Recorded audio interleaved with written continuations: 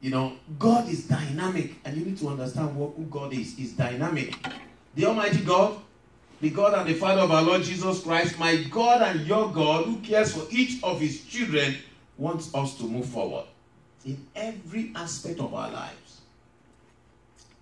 And especially in this year 2018, everyone in this assembly is very important to God and He cares for you and He will not allow the devil to destroy and make you to be ashamed. Say, I shall not be ashamed. not be ashamed. Hold your Bible with me.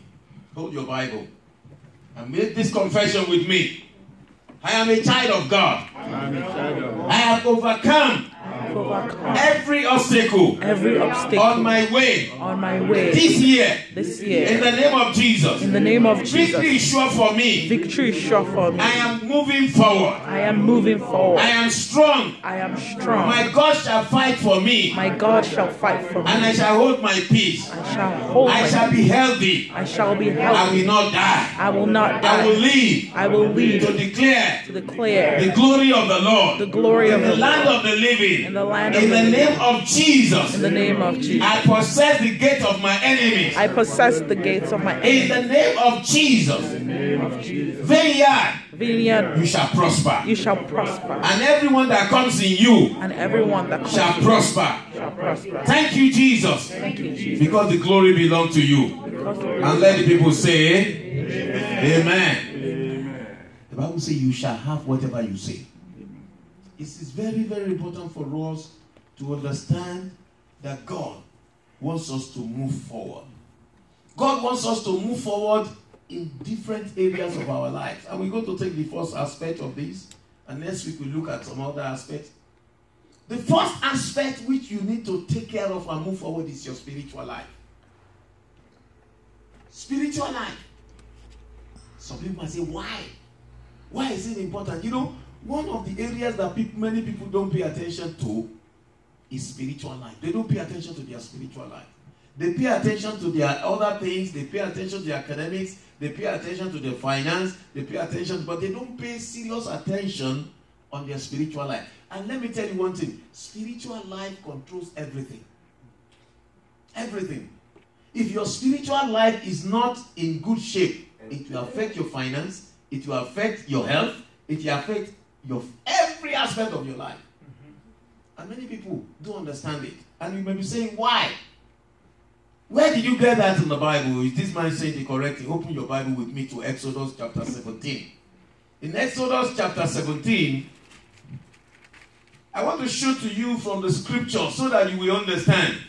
Exodus chapter 17, starting from verse 8 to 16.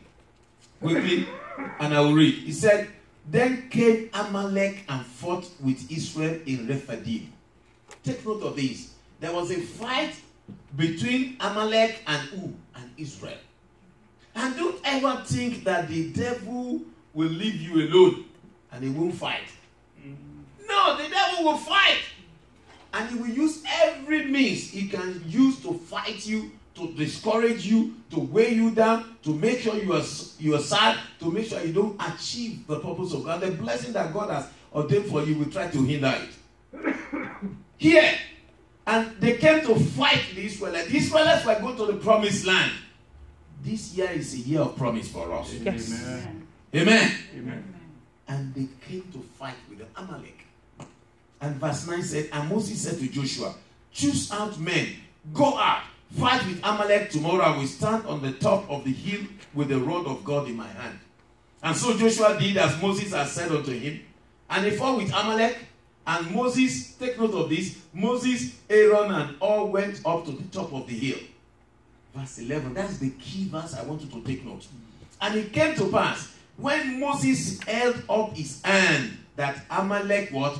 Prevailed. When Moses let down his hand, Amalek what?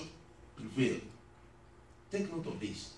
When Moses' hand was up, Israel prevailed. When his hand was down, what happened? What do you understand by that? That is our prayer house. If our prayer house is on fire, we will always prevail. If your prayer life is on fire, you will prevail. The day you don't pray, you lose the battle. I'm telling you the truth. Every small things. You might be looking at it as small thing. You need to pray on your finance. You need to pray on your health. You need to pray on your car. You need to pray on your relationship. You need to pray about your neighbor. You need to pray about every small things of your life need to be supported with prayers. The day you let that prayer on it, you start to lose them. Israel, the success of Israel was dependent on who? Was it on Joshua himself? On who? On God, upon Moses. And it depends upon the level of the hand of Moses. If the hand of Moses was up, Israel prevailed. When his hand was down, Amalek prevailed. Was it dependent upon Joshua that was fighting the battle? No. Let me tell you, the people of God, we need to understand the importance of praying and intercession and fasting and prayer. And we're in this mood right now. If our prayer is fervent, you will see God doing things He has proposed to do. But when we don't pray, nothing happens. And let me tell you one thing was it only Moses? The Bible says Moses, Aaron, and what? And Hur. What do you find it?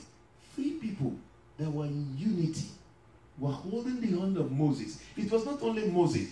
Some people think it's only the pastor. No!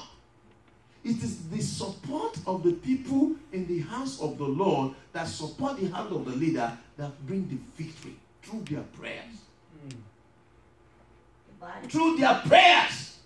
If you don't pray, nothing happens. The body of prayers. Yes, the body of Jesus Christ. and I want you to look at that passage carefully. Go home, read it, They tell determine what you're going to do. And Moses' hand were heavy. Listen to this. A time came Moses' hand were heavy, and they took a stone and put it under his hand, and he stayed there and Aaron and Hur stayed up his hand.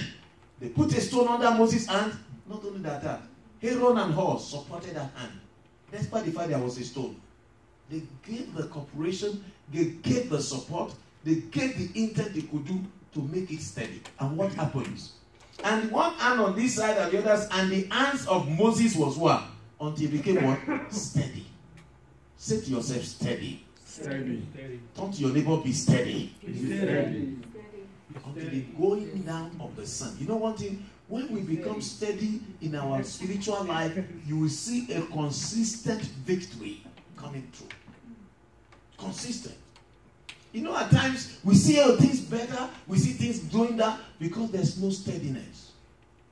When the people of God become steady and the of Moses became steady, they started winning. Look at verse 13. And Joshua discomforted the Amalekite and the people and his people with the edge of his sword. When there was steadiness in their spiritual life, in their support, in what they were doing with hand of Moses, the Bible says Joshua won the battle.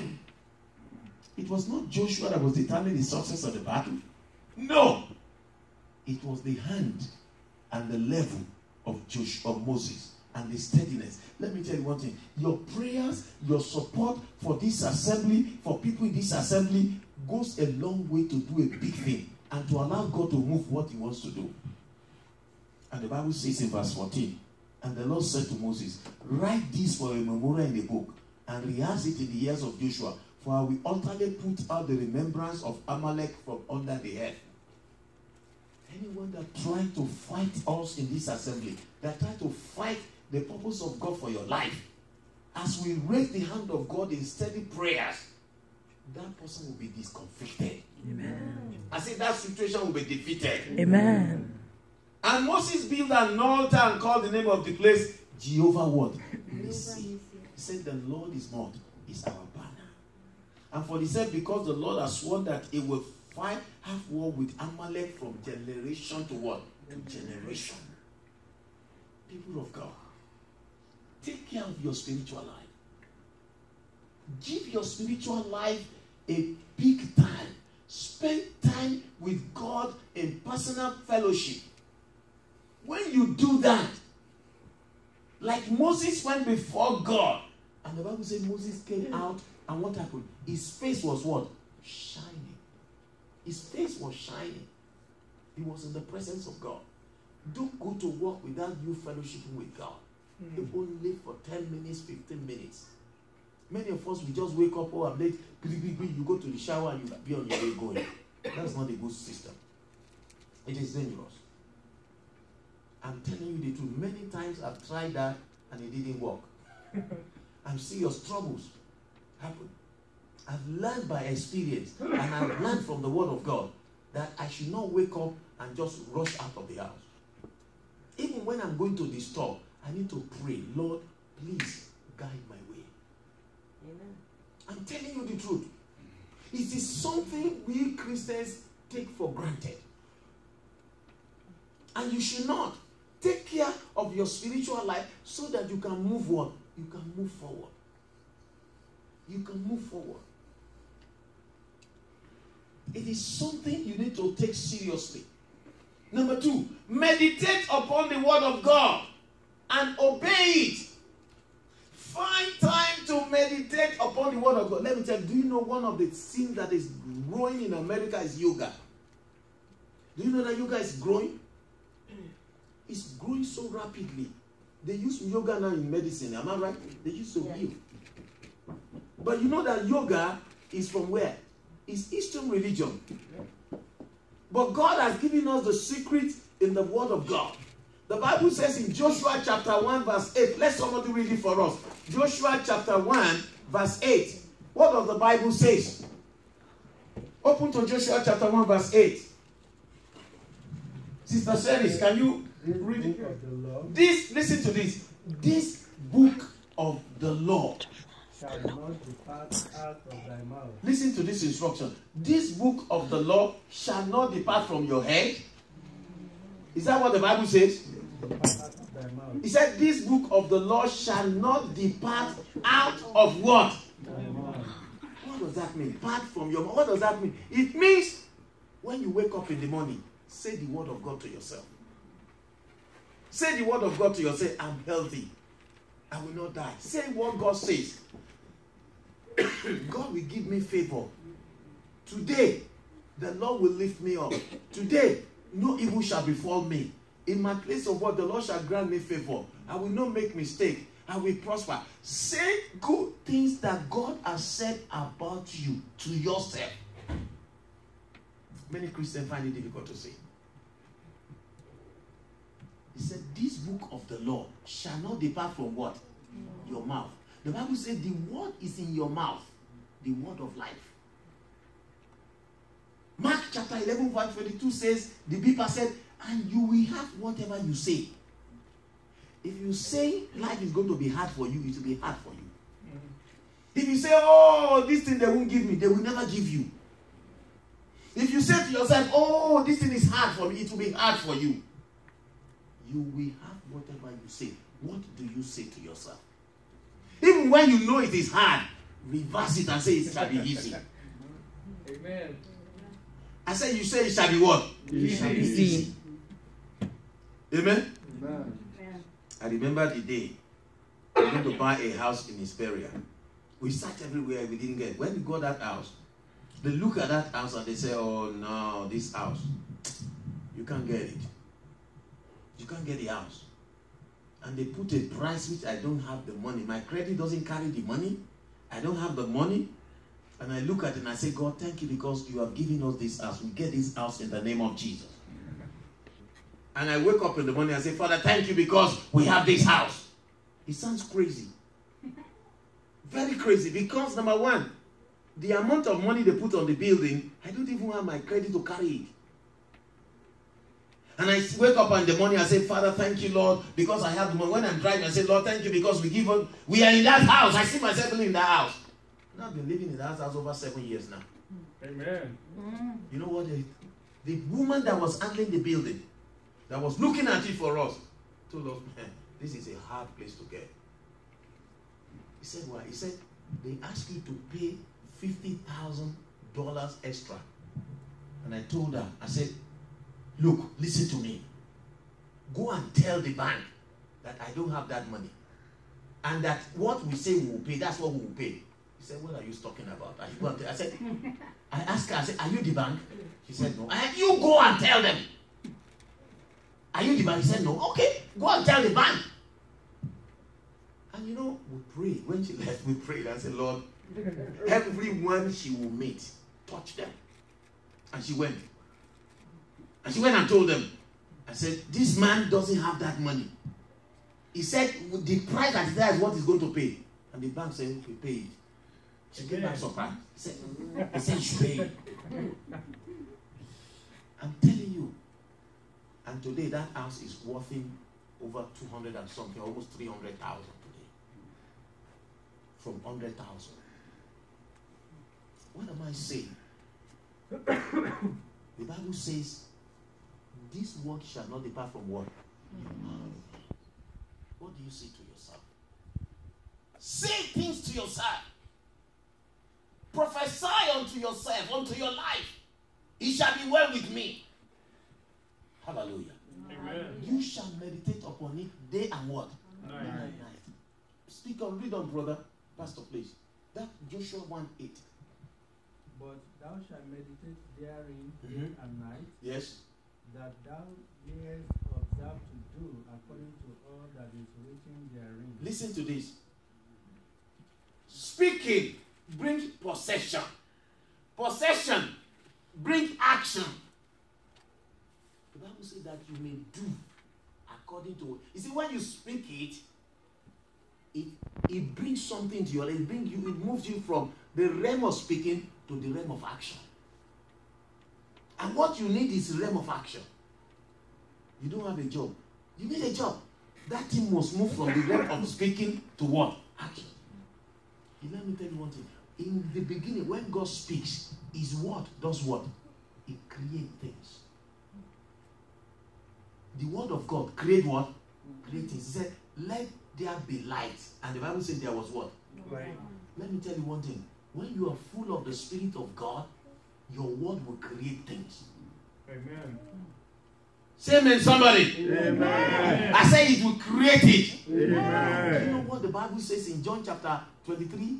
It said, If you ask me anything in my name, I will give it to you. When you go to the Greek, let me give you the Greek meaning. The Greek said, If you ask me anything that I have not created, I will create it for you.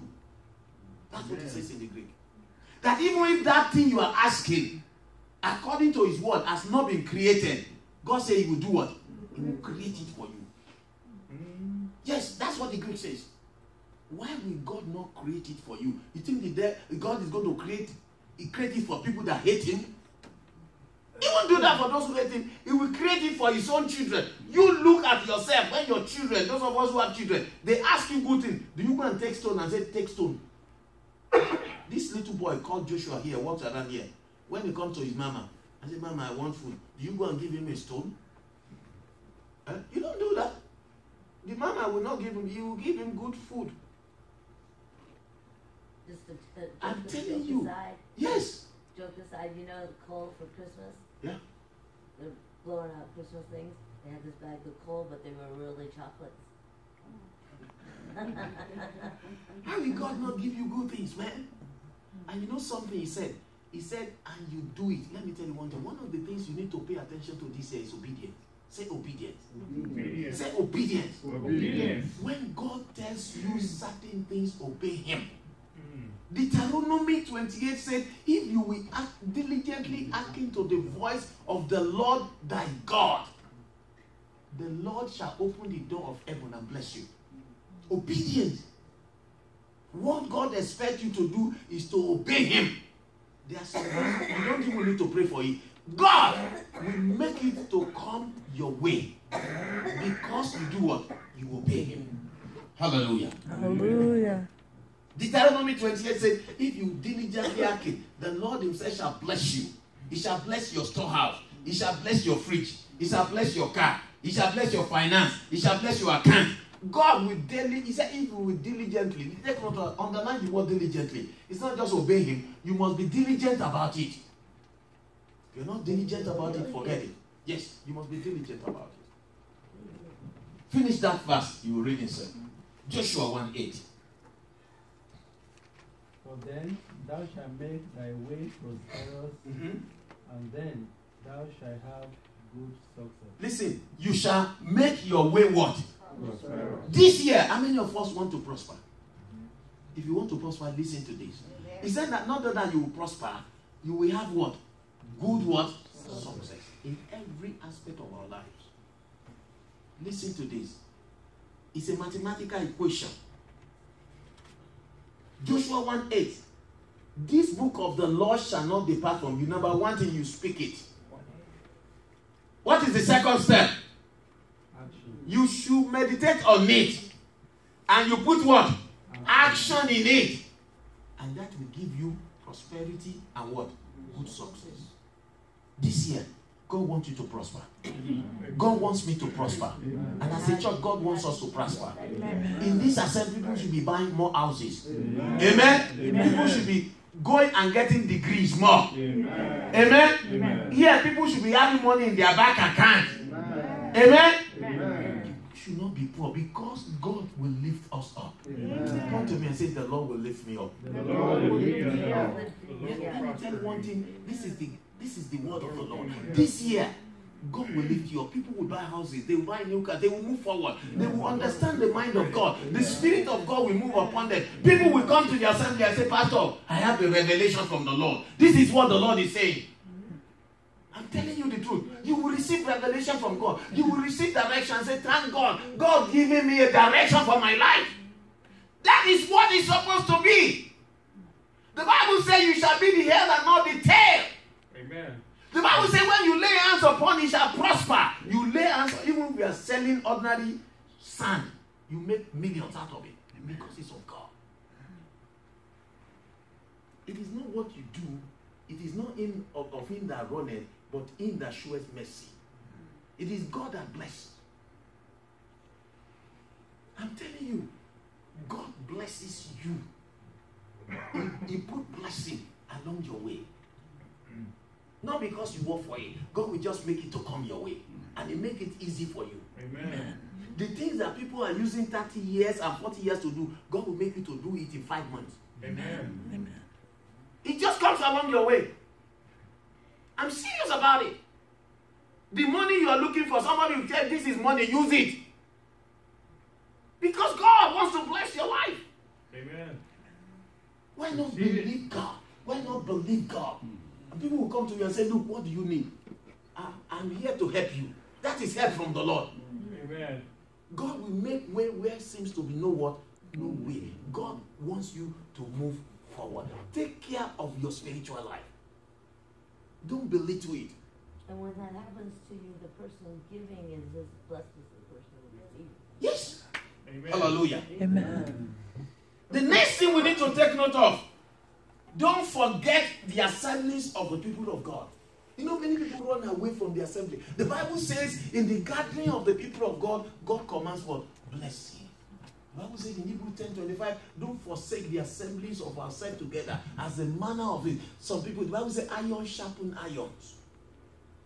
Some of us don't understand the importance of gathering together. Let me tell you one thing. Go and look at the evil camp of the enemy. They also meet together. Mm. One day, I was here in Corona. Corona, I will never forget that day. And they put their witches and meeting here. Not in the night, daylight. And the witches were having their meeting right daylight in Corona. And they put their witches are meeting here. If witches are meeting in the daylight, what about the children of God? Are we not supposed to meet together to bring down the presence of God? Yes. And when we come to the house of God, some of us say, I don't have time, man. Ah, Papa, the devil will fight everything to make sure that people of God don't gather together. Mm. He knows that when they gather, the presence of God will come down, the blessing of God will come down. Listen to God. This year, don't forsake the assemblies of when you come, come with an expectant to worship God. The Bible says God is looking for people that will worship Him in spirit and what? And in truth. God is seeking, He's looking. Can these people worship me in spirit and in truth? I look forward to the day we're going to have not only Minister Greg and Sister Corinne and John Jr. on this drum set. I look forward to the day we're going to have somebody with saxophone that's going to play and somebody with guitar and the cloud of the glory of God will come down. Amen. Worshiping the Lord. Minister Greg will under the anointing and start to play the piano, man. without looking at the keyboard, man, I'm pressing it hard. Hallelujah. Hallelujah. Don't you believe that, brother? Hallelujah. Even those things needs anointing. You know that. Even to play the drum and to play the conga needs anointing. You come here with sickness, but by the time you enter here, your sickness flies away. Amen. Don't you hear in the Bible that David was playing string instrument and the evil spirit was flying away from King Saul? Amen. Yes. Can God not do the same in our days? Why can't we believe God for the impossible things? Why cannot we believe God and stretch forth our hands and say, Lord, we believe you, Lord. Do something new in our midst, oh God. Hallelujah. May we stretch forth our hands to God and say, Lord, I believe you. Lord, I believe you, Lord.